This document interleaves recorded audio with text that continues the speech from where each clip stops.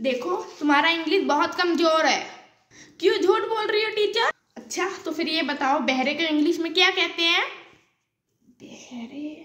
उसे चाहे कुछ भी कह दो। कौन उसे सुनाई देने वाला है?